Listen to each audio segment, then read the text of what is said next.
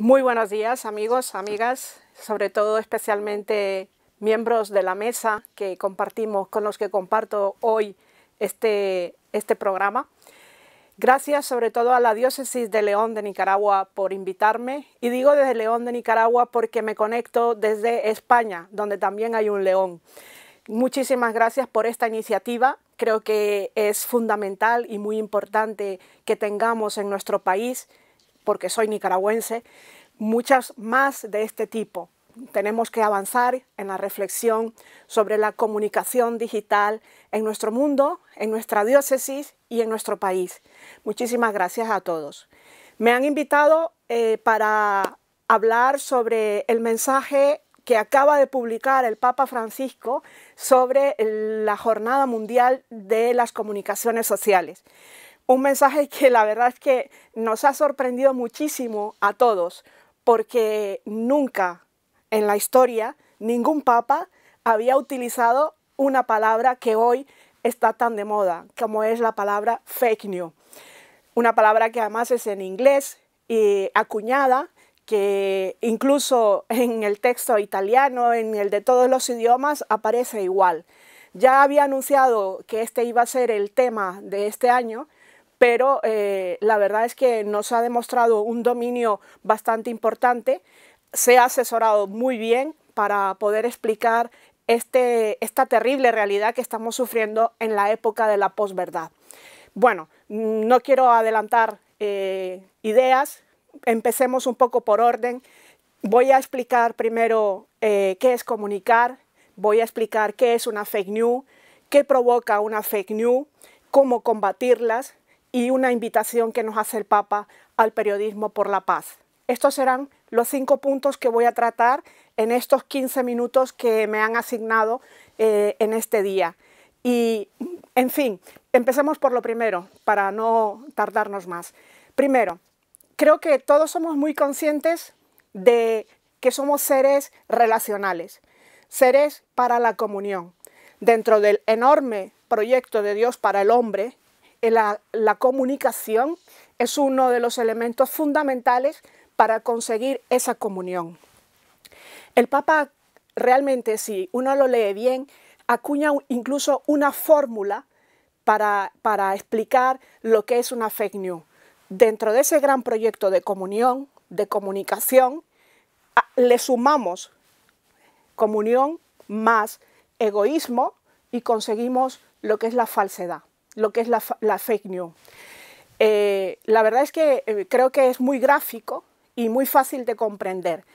Si somos seres para la comunión, en cuanto intentamos pensar más en nosotros mismos, pensar en ser los primeros en comunicar, en ser los primeros en dar una exclusiva, en ser los que tenemos más like, más me gusta, en ser los primeros en que tenemos más seguidores, vamos a empezar a crear ruidos y a crear falsedad y a crear eh, problemas porque la gente más sencilla la empezaremos a confundir.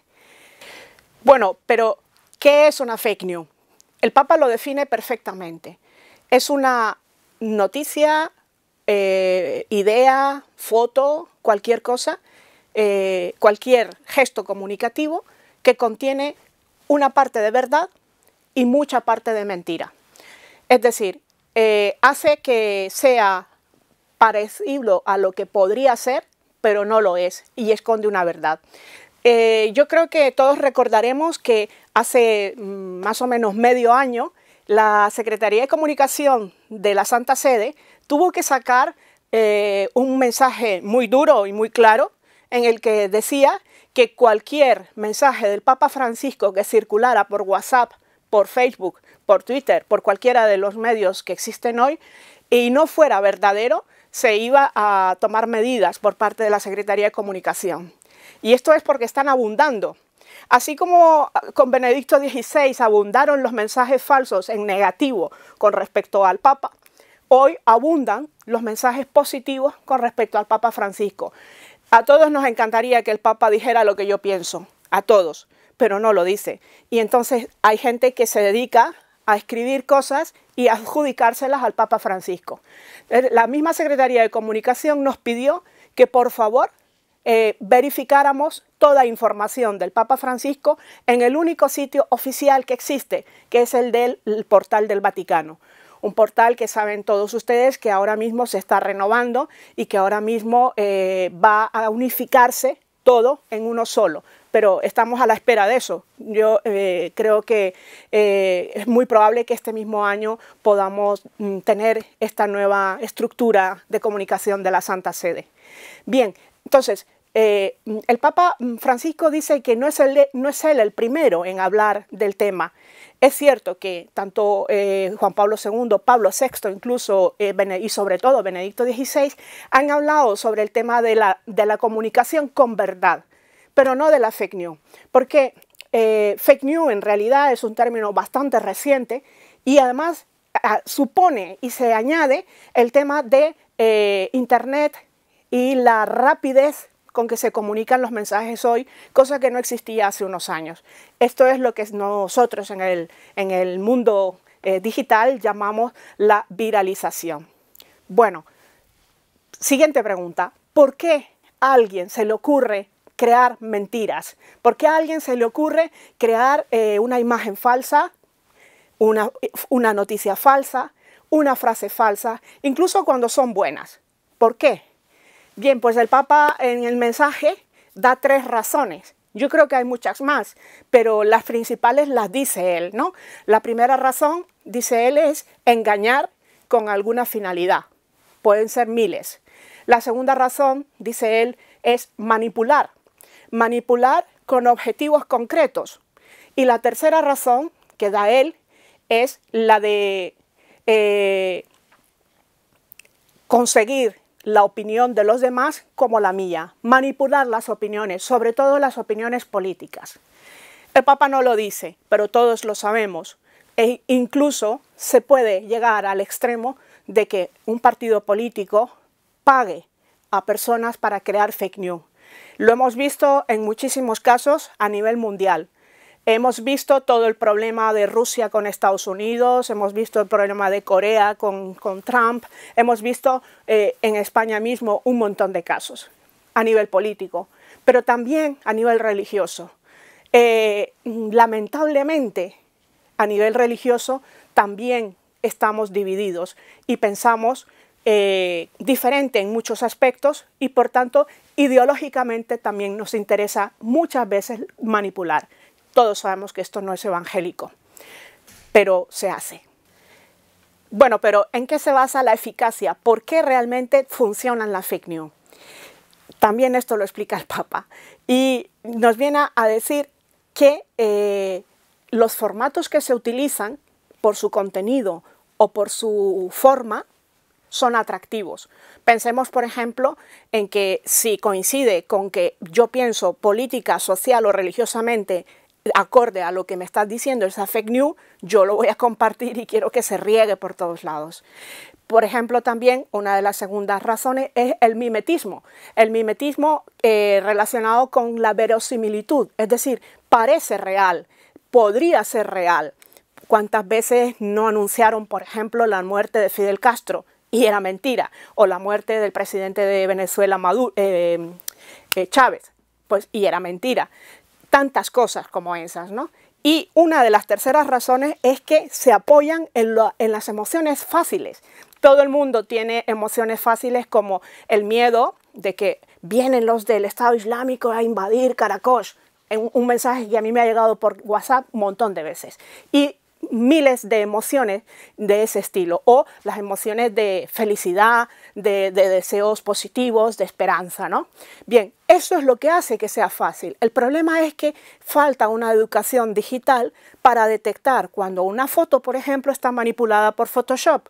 Las personas mayores se creen que cualquier imagen, cualquier vídeo que se te está presentando por televisión o por YouTube o por Internet siempre va a ser real porque no consideran, no les entra en la cabeza de ningún modo que se puede manipular la imagen, que se puede manipular la voz y mucho menos que se puede manipular un vídeo o una foto.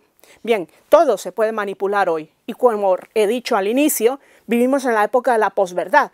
La época de la posverdad significa que es después de que ocurren las cosas cuando se revela que han sido mentira. Bien, Esto eh, es importante, pero ¿cómo erradicarlas? ¿Cómo ir en contra de lo que son las fake news? Lo primero que el Papa insiste es en que las instituciones educativas creen programas para poder aprender a leer críticamente todos los mensajes, todas las comunicaciones. De este mismo modo, instituciones de varios tipos y también legales que también creen eh, organismos, eh, mm, acciones legales para ir en contra de las fake news, porque en Internet no existe una ley universal, sino que estamos parcializados, cada país tiene su propia ley.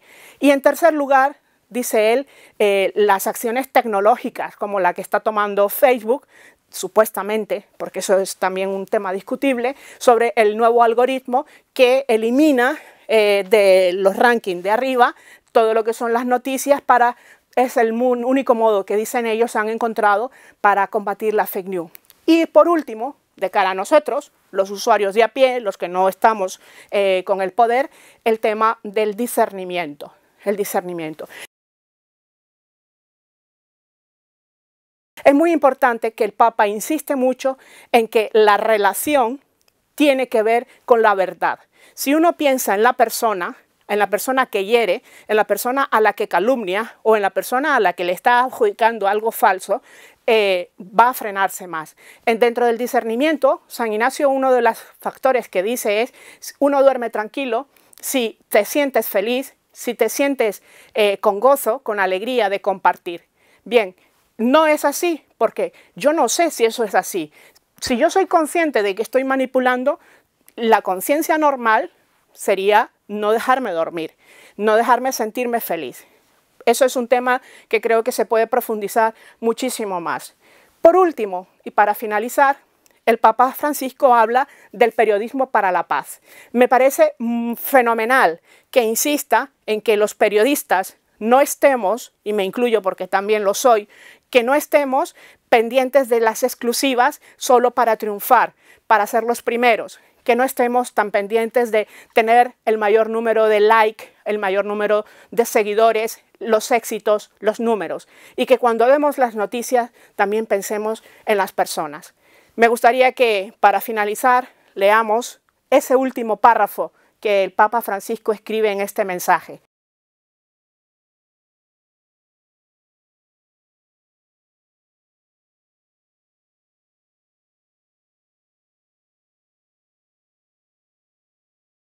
Es, ha sido un gusto y eh, si Dios quiere nos veremos pronto allá en Nicaragua. Saludos desde esta pequeña isla de Mallorca, España.